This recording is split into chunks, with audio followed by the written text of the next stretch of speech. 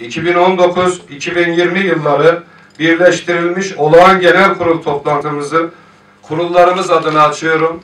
Hepinizi saygı, sevgi, muhabbetle selamlıyor. Hoş geldiniz diyor. Şerefler verdiniz diyor.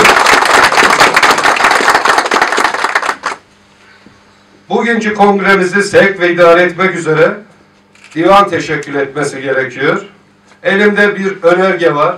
O önergeyi sizlere arz edeceğim efendim.